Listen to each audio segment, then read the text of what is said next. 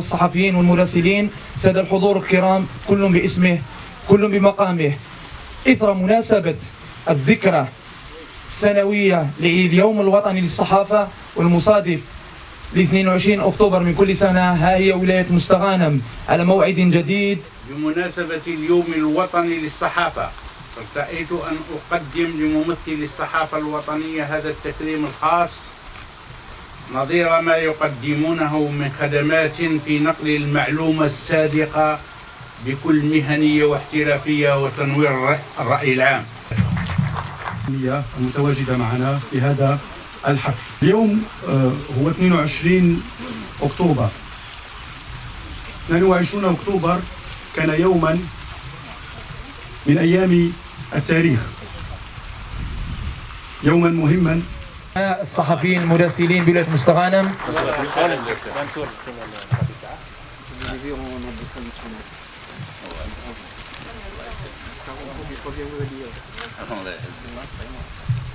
أعطي له عليه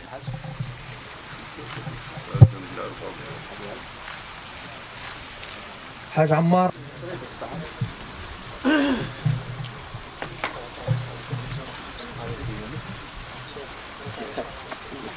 magverksik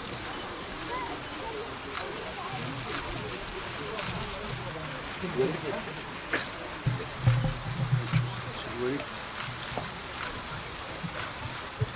إذا بعد بسم الله الرحمن الرحيم والصلاة والسلام على أشرف المرسلين.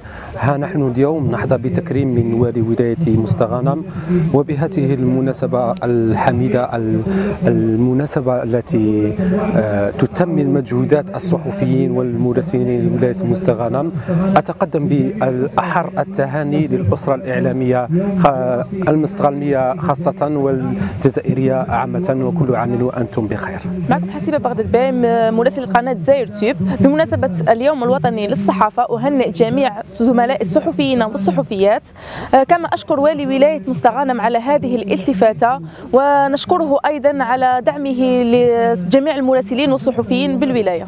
الله الرحمن الرحيم والصلاة والسلام على أشرف المرسلين. بدنا نهنئ كل الصحفيين بمناسبة اليوم الوطني للصحافة 22 أكتوبر. رسالتنا بمناسبة هذا اليوم أن الصحافة تبقى دائما حرية ولكنها أيضا مسؤولية على الصحفيين أن يقوموا ويؤدوا أدوارهم بشكل جيد وبشكل مثالي بفهم صحيح للمهنة بفهم أيضا صحيح لأدوارها ولأهميتها ولي وبفهم أيضا للتطلعات التي تنتظرنا سواء على المستوى المحلي أو على المستوى الوطني أو حتى على المستوى الدولي.